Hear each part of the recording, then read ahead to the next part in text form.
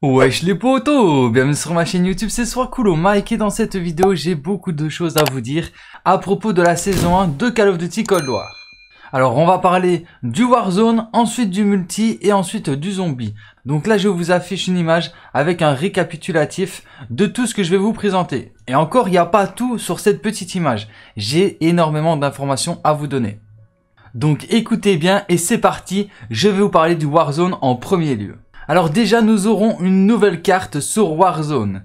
Donc on n'en sait pas vraiment plus sur la nouvelle carte, ils nous ont rien montré, mais on sait qu'il y aura des nouveaux secrets, des nouveaux défis, un nouveau goulag que je vous affiche à l'écran. Donc c'est un, un nouveau goulag retravaillé à l'image de la guerre froide. Alors il faut savoir aussi que sur Warzone ils auront ajouté Alcatraz. Alors je me pose la question, est-ce que Alcatraz est ajouté directement sur l'île principale, donc la grande île de Warzone? Donc est-ce qu'il y aura dans la map ben, Alcatraz directement sur Warzone? Je pense que oui.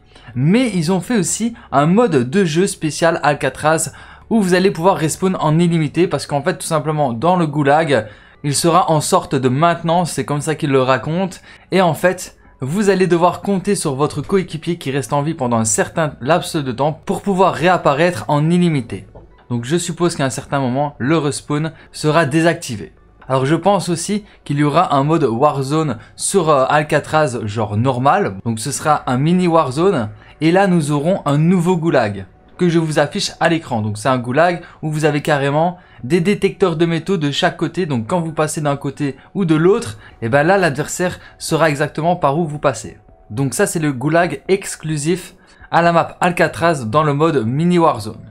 Alors nous aurons aussi trois nouveaux opérateurs. Nous aurons Stitch, donc c'est celui qui a perdu son œil qu'on voit dans le trailer. Alors celui-là, on le débloquera instantanément. Et au niveau 100, vous débloquerez la version du skin Stitch en version légendaire.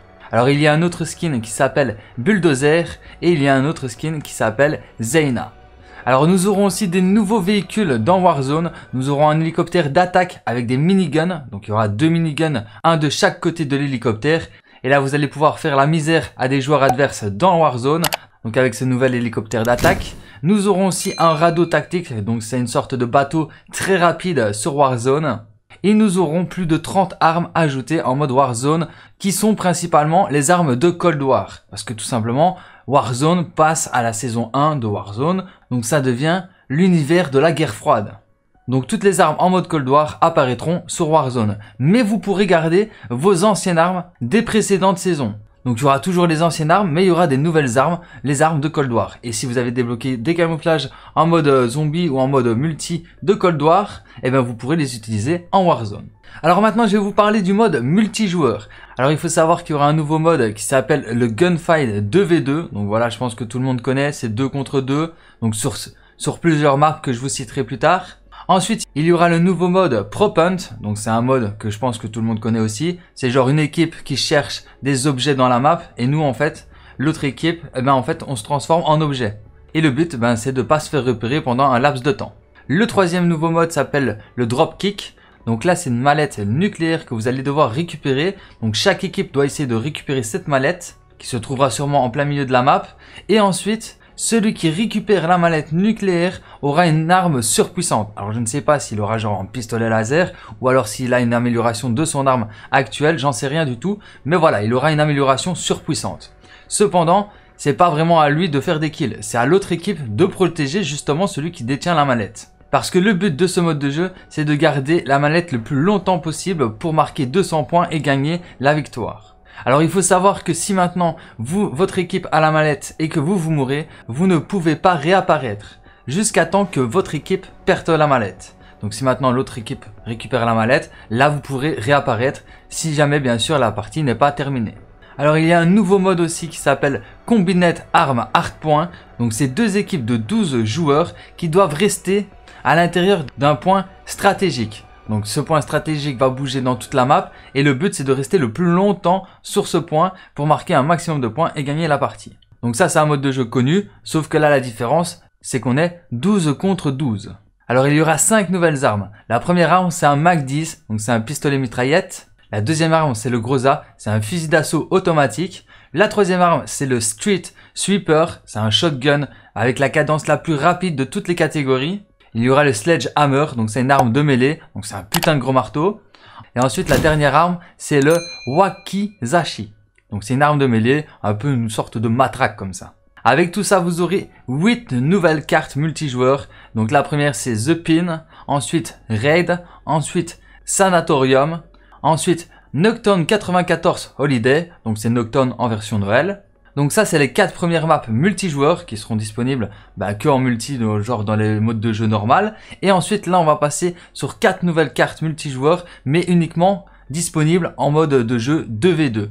Alors il y aura le Game Show 2v2, il y aura le ICBM 2v2, il y aura le KGB 2v2 et il y aura le UBAN 2v2. Voilà les 8 maps multijoueurs qui seront ajoutées. Alors nous aurons aussi un nouveau score streak qui s'appelle HARP. C'est un drone super amélioré, donc je pense que vous connaissez déjà euh, les drones améliorés. C'est tout simplement que quand vous l'activez, vous voyez carrément la direction des joueurs, vous voyez un petit triangle par personne, et franchement, bah, je pense que tous les, toutes les personnes de la partie sont directement détectées, même s'ils ont euh, des brouilleurs de drones, etc. Je pense qu'il n'y a pas moyen de contrer ce drone amélioré. Et nous aurons aussi 20 nouvelles cartes d'agents à débloquer. Et là maintenant j'ai gardé le meilleur pour la fin qui est le mode zombie. Donc en zombie, nous aurons un thème Noël à durée limitée. Donc dans ce thème Noël, nous aurons des cartes de visite. Nous aurons plus de puissance festive, donc nos armes seront plus efficaces. Nous aurons des boules de neige qui carrément congèleront les zombies. Nous aurons un bonus de stockage dans nos munitions. Nous aurons des cadeaux qui tombent quand vous tuez un zombie congelé. Et nous aurons carrément des surprises spéciales à l'intérieur des bonhommes de neige. Alors je ne sais pas exactement comment ils vont implanter des bonhommes de neige, mais je suis impatient de voir ça. Alors nous aurons aussi un mode de jeu Cranked. C'est un mode de jeu où vous aurez un compte à rebours et ce compte à quand il arrivera à zéro, vous exploserez. Donc le but, c'est de tuer des zombies sans perdre un seul instant et en gérant votre compte à rebours. Si vous arrivez à zéro et que vous n'avez pas de zombies devant vous, eh bien vous explosez et c'est fin de game. Le seul moment de répit que vous avez, c'est le power up et c'est sûrement une sorte d'intermanche. Alors je pense aussi que nous aurons un nouveau secret, donc c'est un petit secret pour débloquer une musique de Noël sur la map d'Imachine. Nous aurons aussi les armes du pass de combat. Donc je pense que dans les boîtes, nous les aurons directement débloquées. Donc on n'aura sûrement pas besoin de faire tout le pass de combat. Mais si vous faites tout le pass de combat, bah, vous débloquerez les armes qui sont dans le pass de combat. Et petite information supplémentaire aussi, à chaque nouvelle saison, logiquement les armes que vous n'avez pas débloquées de la saison 1, vous les obtenez dans la saison 2. Mais il faudra réaliser des défis pour la débloquer. je pense que c'est un truc dans le genre. Mais bon, ça je vous tiendrai plus au courant. Alors il y aura aussi des défis de saison 1 qu'ils auront rajouté et ils nous auront aussi rajouté des défis quotidiens. Donc tous les jours vous aurez un défi quotidien, voire même peut-être deux, voire même peut-être trois. Alors nous aurons aussi 20 nouvelles cartes d'agents à débloquer. Nous pourrons enfin jouer à deux joueurs en écran partagé sur Call of Duty Cold War Zombie. Nous aurons aussi un nouveau soutien en mode zombie qui est le missile de croisière. Donc à mon avis c'est un simple missile qui vient et qui explose les zombies. Je sais pas trop comment ça va se passer. Là, il est noté un truc que je ne comprends pas, c'est assaut de vacances. Alors, je ne sais pas trop ce que ça veut dire, assaut de vacances. Ça reste à voir, on verra bien de toute façon. Alors, nous aurons aussi deux nouvelles cartes zombies, mais pour le mode de jeu carnage uniquement. Donc, ce sera pas de nouvelles cartes zombies euh, proprement dit, avec un nouveau secret. Non, pas du tout, ça, ce sera pour en février. Comme de toute façon, je vous l'ai toujours dit. Et il y aura bien sûr des nouveaux prestiges. Donc il faut savoir que tout votre niveau sera réinitialisé au niveau 1 mais vous gardez tout ce que vous avez débloqué, donc, donc tous vos récompenses, vous les gardez. Alors il y aura 4 prestiges à réaliser, chacun de ces prestiges compte 50 niveaux, et ces prestiges vous débloquera un plan d'armes, des défis, des clés de prestige qui vous permettra de débloquer des objets dans la boutique prestige, une carte d'agent maître prestige, et après les 4 prestiges, vous pourrez aller de niveau 200 à niveau 1000 et recevoir des clés de prestige tous les 50 niveaux. Donc voilà, je vous ai tout dit à propos des trois modes qui est le Warzone, le multi et le zombie. Alors j'ai une petite dernière information au cas où vous n'étiez pas au courant. Toute la progression que vous faites en zombie, en multi ou en Warzone sont synchronisées. Donc si vous faites quelque chose dans un mode de jeu, ça vous donnera des XP dans tous les modes de jeu. Donc voilà, vous n'avez qu'un seul niveau à monter, un seul battle pass à monter, tout est synchronisé.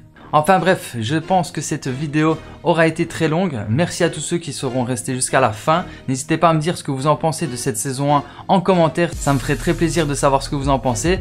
Et euh, j'espère que cette vidéo ben, vous aura plu. Si c'est le cas, n'hésitez pas à liker, à partager et à vous abonner si ce n'est pas encore déjà fait. Et sur ce, moi je vous dis à très bientôt pour plus de vidéos. C'était Soit Cool Mec et ciao. Peace.